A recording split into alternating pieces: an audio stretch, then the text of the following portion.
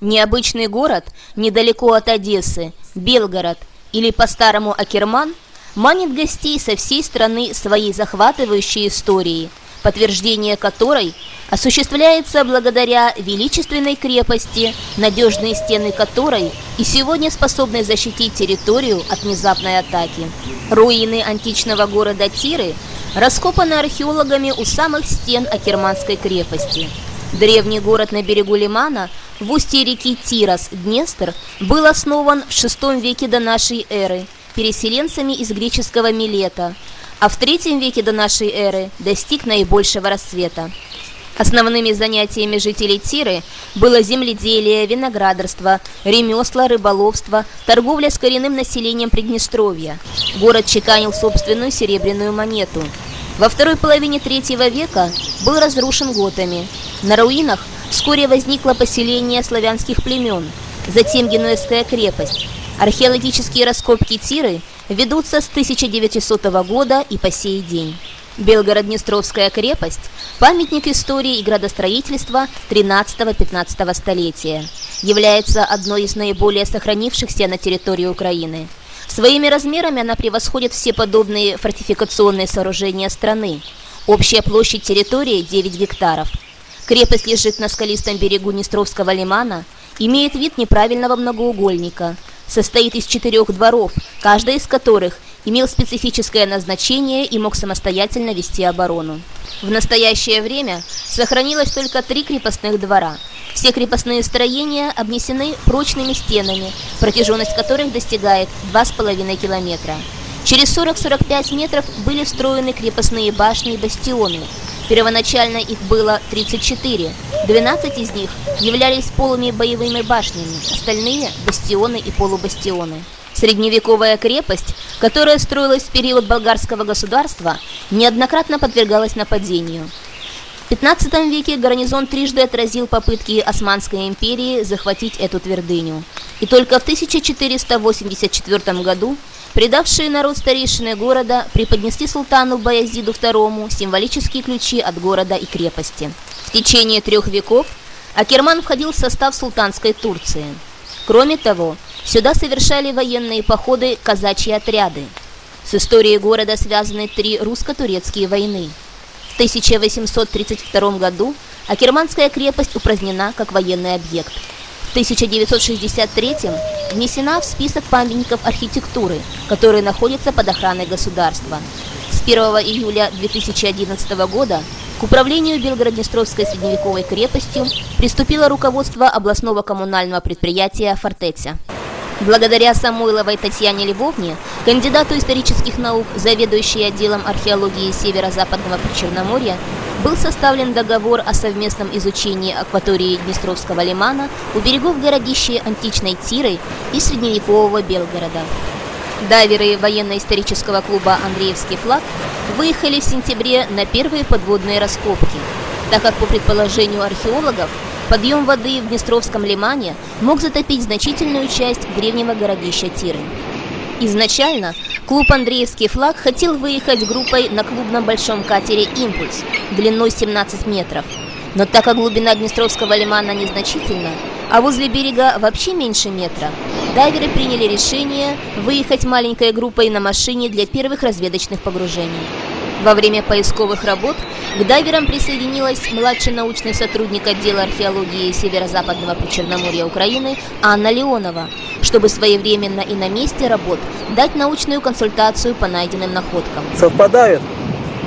Пока что по двум координатам мы ничего не определили.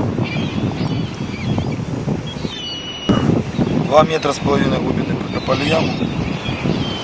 Результатов пока что не на самом деле мы очень рады, что сейчас вот удалось сотрудничать с вашим клубом дайвинга. До сих пор в Тире не проводились исследования, связанные с подводной археологией. Очень надеемся, что результат, который будет получен в результате этих работ, прольет определенный свет. Раскопки проводились в районе портового двора и башни сокровищницы на глубине от 130 до 80 сантиметров. Вот очередная точка нашего исследования показала, что ну нету тут пока что результата такого хорошего. Нашли обломочки маленькие керамики. Но это ни о чем не говорит, что здесь было поселение или что-то торговое, какая-то структура работала. Но будем надеяться на лучшее. В данном случае мы от крепости где-то метров на 400 находимся. По всем данным, должно быть здесь что-то быть. Да, Валентин? Вот и Валентин говорит, что да.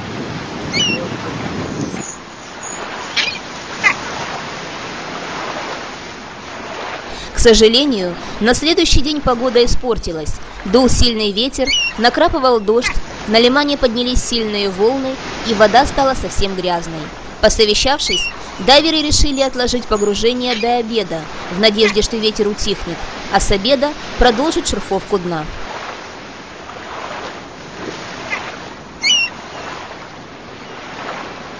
Первый день работ было размыто 4 шурфа воронкообразного типа с верхним диаметром 1,5 метра, нижним 50 сантиметров и глубиной до 2,5 метров.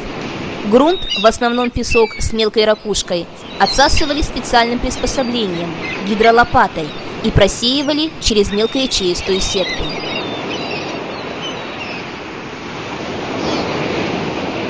С разрешения научного сотрудника и заведующей экскурсионным отделом коммунального предприятия «Фортетия» Феодосеевой Тины Михайловны в сопровождении Анны Леоновой дайверы Андреевского флага стали осматривать старинную крепость. Ведь грамотная консультация младшего научного сотрудника по разным объектам крепости заставляет по-другому взглянуть на каменные молчаливые древние стены.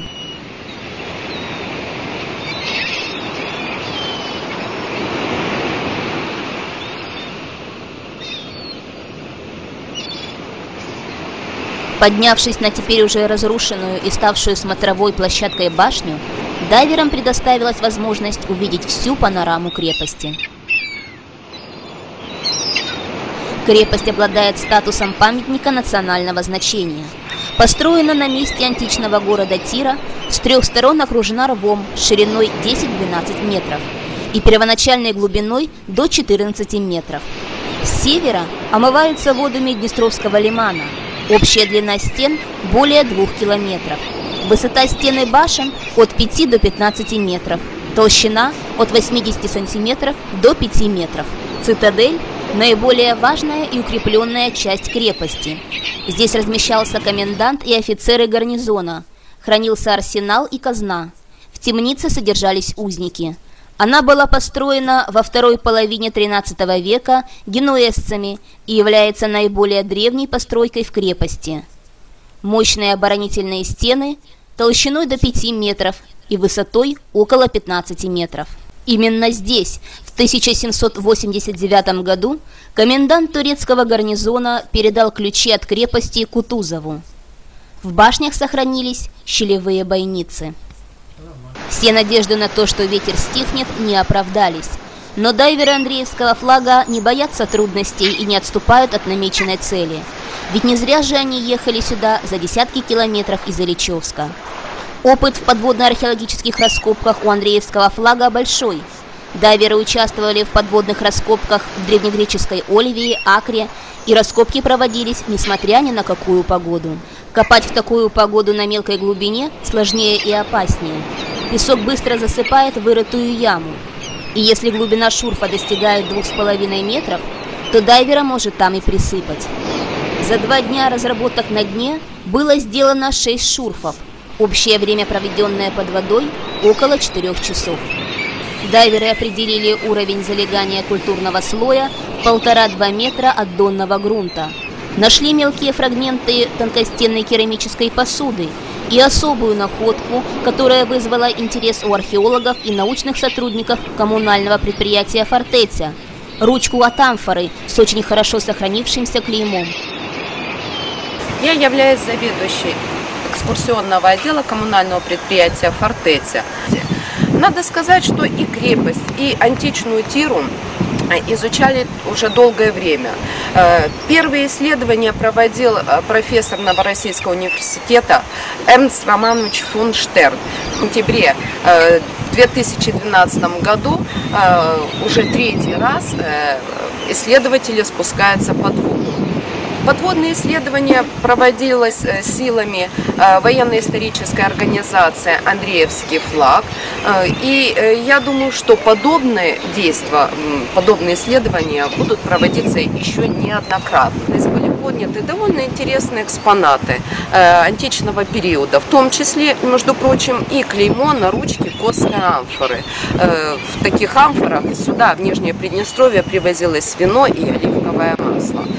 В таких амфорах здесь местные жители э, хранили зерно, э, хранили сыпучие тела, ну, тоже вино хранили. Э, То есть это довольно интересные находки.